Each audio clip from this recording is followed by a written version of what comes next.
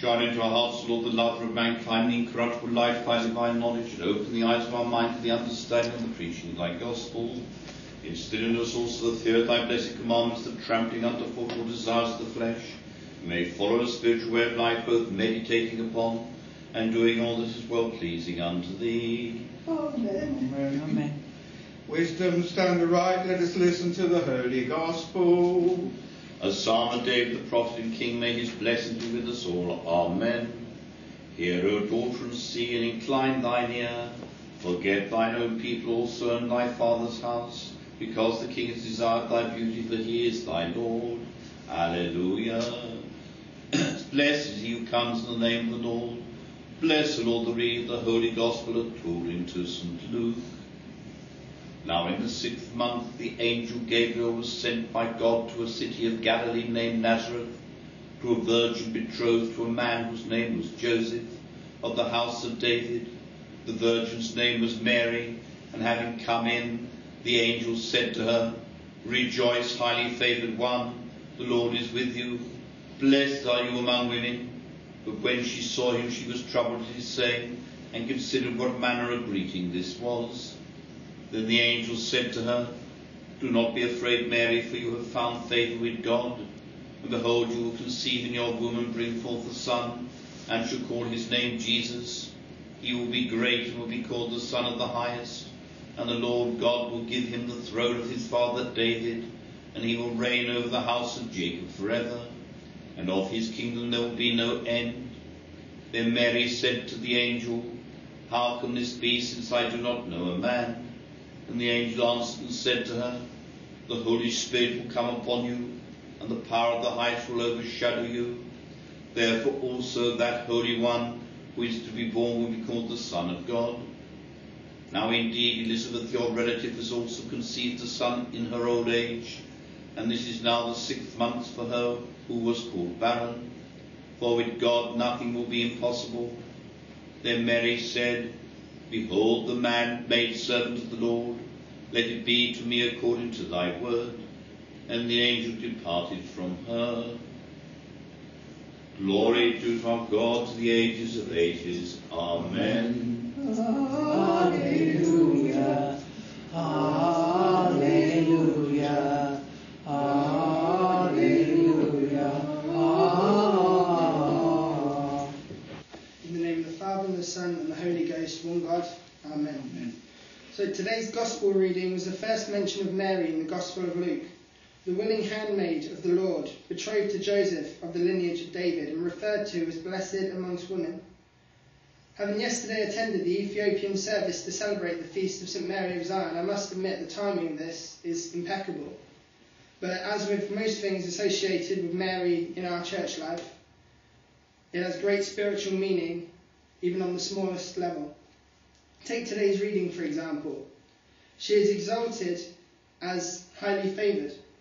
This is not just a greeting, as she shows when she shows she's quite suspicious and quite worried about this. It also announces her great destiny.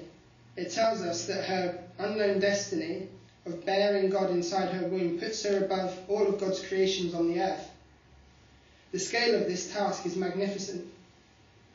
We've all been asked to do things that we see as important, but for Mary, this was immense, really. She was asked to become the mother of not just the child of God, but God Himself. And through accepting this offer, she becomes a true inspiration to all Christians and a central part of our life in the church, from festivals to iconography, even to our intercessions in the church. Mary is truly the woman we love above all. She's given many titles in the church, from Most Blessed, Full of Grace, Theotokos, Holy Mother, the Second Heavenly Tabernacle, the Fair Dove, and she's even compared by many of the church fathers to the church itself, because she guards us and cares for us and guides us through her intercessions as the church does.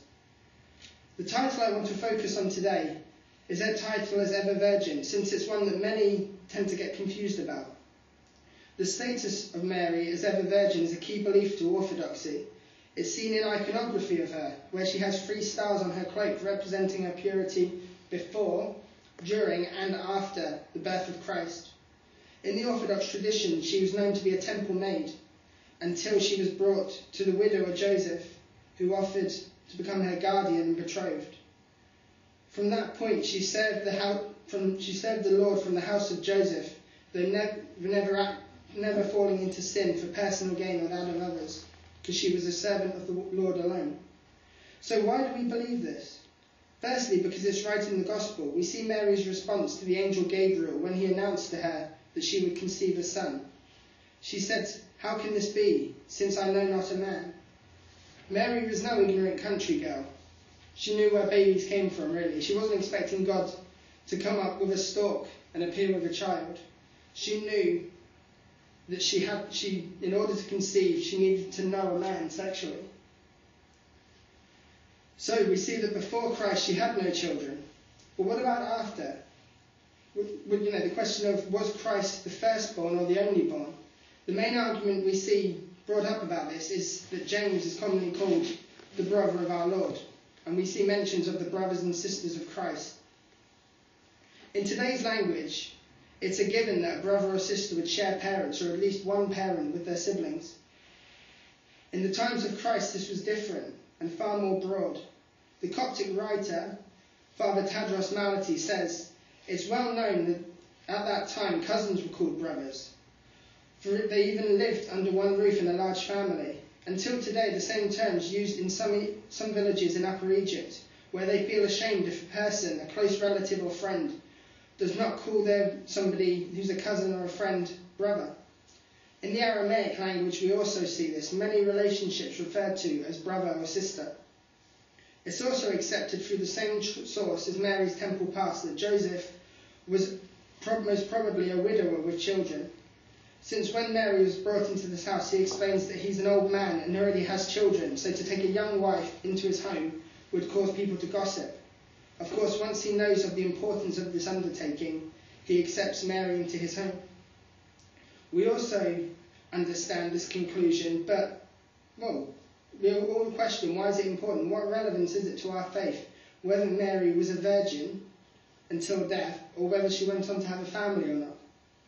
In Joseph's time, there was a high regard and deep reverence for what is sanctified or set apart for God, or that which is used for the service of God. Sacred objects in the temple, the holy things set aside for the service of God, one does not touch these unless they're a priest or likewise. It's like here in the church, the chalice is only touched by a bishop, a priest, or a full deacon. Subdeacons and readers can touch them whilst tidying up, but only through a cloth to avoid touching them directly. So if Mary was set apart for God, as the chalice is set apart for the blood, then for her to have other children would be to defile this holy temple in which God dwelled for nine months. Or it means that, that he was not God to begin with.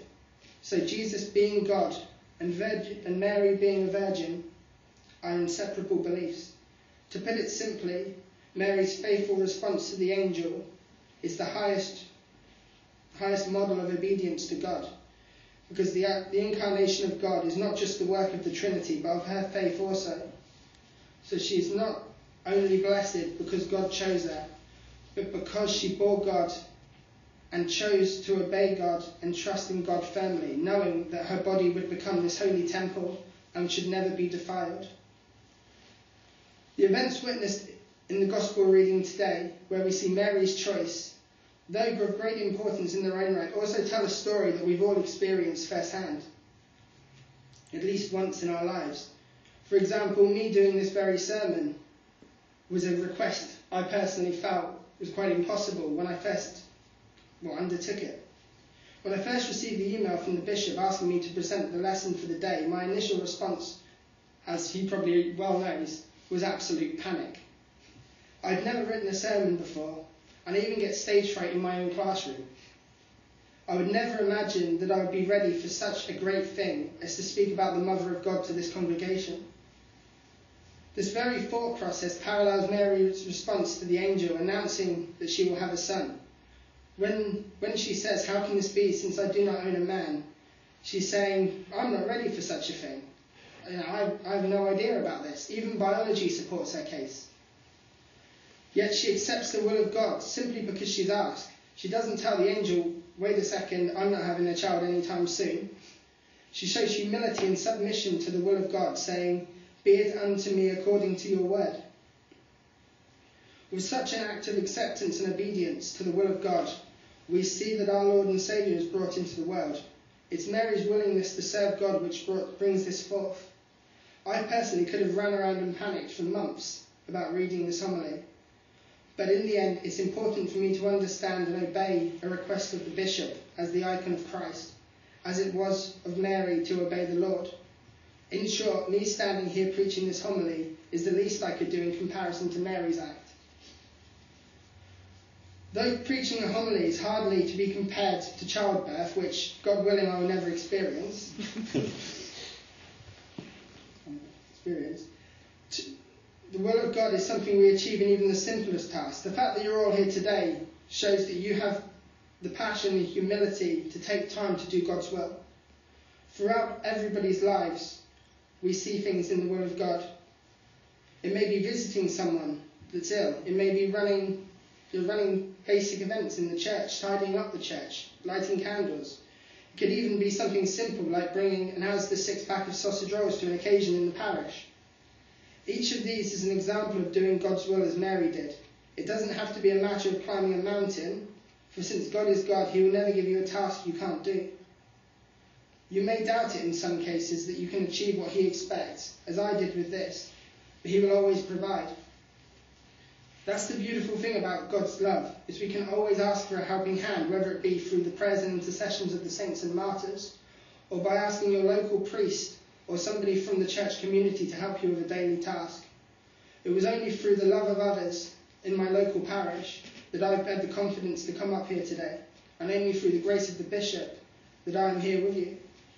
I'm sure everybody here has somebody that they're thankful for for something, somebody that God provided in their life to help them so that they can serve Him properly. We all go through times such as these, where we're asked to do something which is seemingly impossible, whether it's reading a homily or something which one of you has done in your lives. But we know to put our trust in God and the intercession of His saints. I will leave you on this note with the words of the angel. The angel said to Mary when she, when she questioned the possibility of having a child. The angel said, With God, nothing shall be impossible. So whatever you face in life, approach it with these words at heart, and in doing God's will, you will be emulating the act of Mary in accepting God's will and the continual cycle of events which brought Christ's coming into the earth. Mary's intercessions and her prayers on our behalf are a vital part of our faith, and the memory of her willingness to do the will of God is inspirational.